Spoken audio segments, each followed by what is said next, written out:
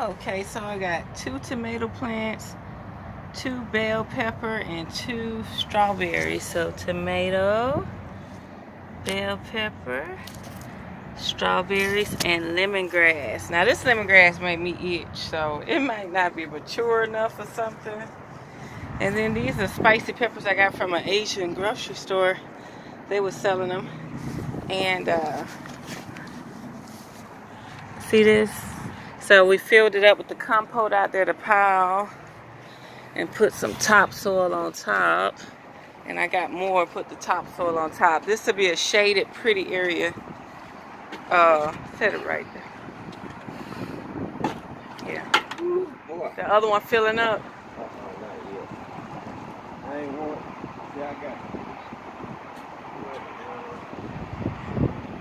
Yeah, so this is nice.